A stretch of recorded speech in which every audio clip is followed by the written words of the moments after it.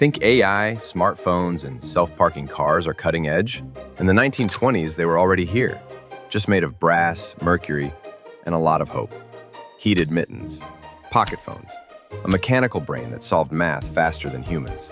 They were basically inventing our entire future, one slightly dangerous gadget at a time. So let's take a look at 10 wild inventions from 100 years ago, proving the roaring 20s were way ahead of their time. This is Hidden Lens History. Hawthorne, Nevada, December 30th, 1922. For the first time in history, a seaplane was successfully catapulted off a battleship. Yep, decades before Top Gun, the US Navy was already flinging aircraft into the sky. The paper called it a feat achieved only after 12 years of intensive designing and experimentation. The launch took place aboard the USS Oklahoma, just off the coast of Los Angeles. Imagine being the first pilot to hear, don't worry, we think the catapult works now. It worked. The plane flew. And just like that, battleships became floating airfields. If you look closely, you can see floats not just where the wheels would be, but also under the wings.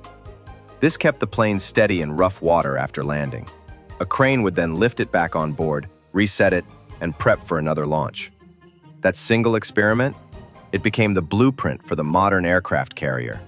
And a hundred years later, we're still launching jets off steel decks, just with a little more thrust and a little less prayer. South Bend, Indiana, February 17, 1924. Parallel parking was already a headache in the 1920s, so one Baltimore engineer said he'd cracked it. Victor P. Williams spent eight years developing a hydraulic jack system that lifted a car off the ground, then slid it sideways into a space. No more back and forth, no more tire wear, just lift, shift, and glide to the curb. He claimed it weighed under 100 pounds, cost $100, and ran off the car's own engine. A few years later, a Connecticut paper reported Mrs. Miriam Williams' similar design, described as simpler, lighter, and easier to attach. And they weren't alone. Patent records show dozens of inventors chasing the same idea, including Brooks Walker, who spent his career refining a hidden fifth wheel that could lift and pivot a car sideways. From 1928 to 1981, he filed patent after patent, gave live demos, and never convinced a single automaker to bite. Meanwhile, back in the 1920s, some garages skipped innovation entirely and just installed turntables to spin cars around. Because if you can't park smarter, at least park dramatically. New Britain, Connecticut, December 20th, 1926. Long before streaming services or spinning buffering wheels, Dr. E. F. W. Alexanderson unveiled something truly wild radio movies. His invention could, according to the paper, flash on a screen visions of events happening many miles away. Reporters said it gave the effect of motion pictures, only live. The photo shows Alexanderson pointing to a cluster of lights that do the projecting. No one called it television yet. They called it Seeing by Radio. Within a few years, his company, RCA, would broadcast the first televised image. So if you've ever binged a show until 3 a.m., or watched a presidential debate on mute, you've got this 1920s wizard and his glowing bulbs to thank for the privilege. New Britain Herald, October 18, 1929. MIT scientists built a machine so advanced, they nicknamed it the mechanical brain. The article headline declared, New device trebles powers of mechanical brain. Invented by Dr. Vannevar Bush. Yes, the same Bush who'd later design early computers. This device could solve equations too complex for the human mind. It handled in eight minutes computations that would keep an engineer busy for a month to a year. It even had a new lobe that let it solve sixth-order differential equations. Math so advanced, most humans panic just hearing it. The description is pure 1920s poetry. Pencils draw the graphs of electrons' paths upon a sheet of paper. A mechanical contraption literally doing algebra on its own. And tucked near the bottom, this chilling line. Through some mechanical changes, the brain will be made 10 times as accurate. So yes, in 1929, they were already upgrading AI lobes. We just replaced gears and mercury drops with GPUs and existential dread. Indianapolis Times, November 4th, 1925. If you wanted to stare into the universe in 1925, you went to Mount Wilson, California. There, perched above the smog, stood the largest telescope in the world, a 100-inch mirror so precise it could magnify a thousand times and still focus light from galaxies millions of light years away. This was the telescope that Edwin Hubble used to discover that the universe is expanding. The paper called it the magic glass that helps us find new worlds. The story describes how the 9,000 pound mirror had to be kept in a water jacket so it wouldn't warp from heat. It was, as one astronomer said, an adventure comparable to a voyage across an unknown sea. In short, without this giant brass eyeball, we might still think the Milky Way was the whole show. Evening Star, November 25, 1925. Captain Barnett Harris boarded a ship bound for Sumatra with a camera the size of a small car. The caption read, one of the largest movie cameras in the world. He was going to film the January 14, 1926 total solar eclipse for Harvard's expedition. In the photo, he looks like a man about to photograph God.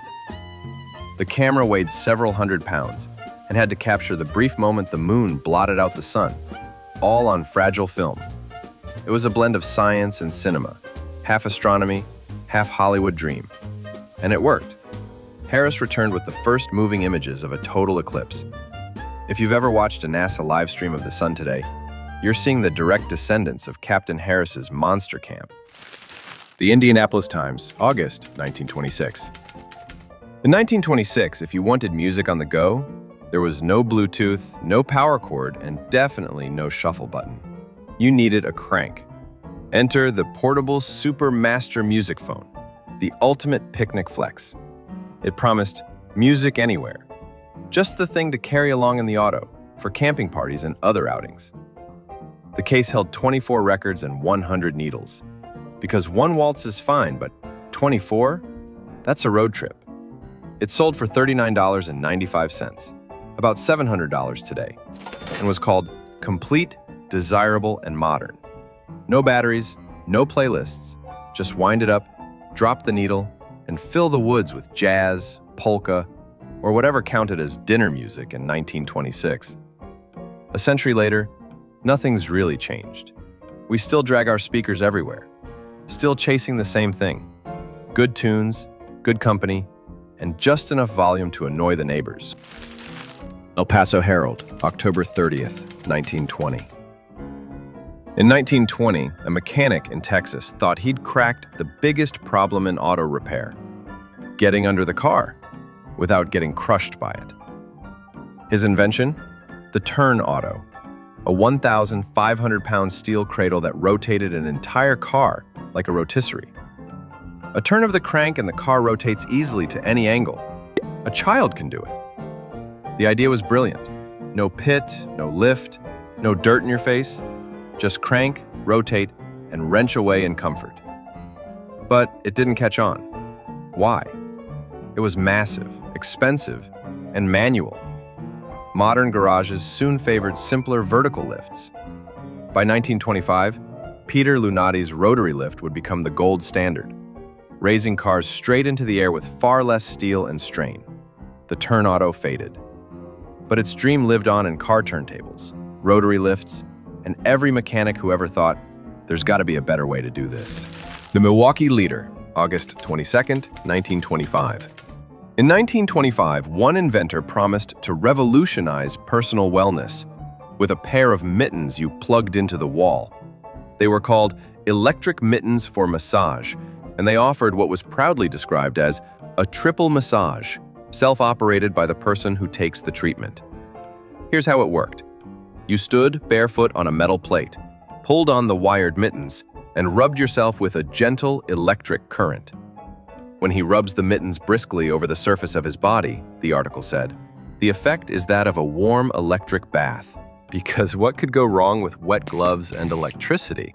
Each session promised three benefits an electric massage to stimulate circulation, a mechanical massage from the rubbing, and thermostatic heat from the wet gloves. Basically, buzz, scrub, and sizzle. They were probably quite cozy, for the few seconds before your sleeves caught fire. Still, the idea lived on. Every heated glove, sock, and jacket today owes a spark to these brave, tingly pioneers of personal electrification. The Milwaukee Leader, October 1925. North Carolina inventor Frank W. Benton found a new place to put ads, the ceiling above your head. He patented a display frame for barbershops, designed to hold cards and posters right above the customer's face. The idea? While you're getting a shave and can't move, well, you might as well read a few ads. The paper says, The busy man. Time spent in a barber's chair is a lamentable waste. Suppose, however, that while having his face scraped, he could occupy himself with the perusal of light literature. Light literature meaning toothpaste ads. Each frame could tilt to just the right angle to confront the upward gaze of customers, ensuring that, even if he did not care to read, he could not help himself. Basically, a 1925 version of an autoplay video. You didn't ask for the ad, you couldn't skip it. You just sat there, lathered and held hostage by capitalism. Nearly a century later, not much has changed. The screens got smaller, the targeting got smarter, but the ads still find you when you can't look away. From seaplanes to mechanical brains, the 1920s weren't just roaring, they were inventing the future. Some of these gadgets fizzled, others reshaped the world. And all of them prove one thing Every generation thinks it's living at the edge of innovation. But the truth is, the edge started a long time ago. The future wasn't waiting, it was already plugged in, in 1925. Like these videos, support our work by subscribing on YouTube, or watch any of our other videos, all real headlines and stories brought back to life.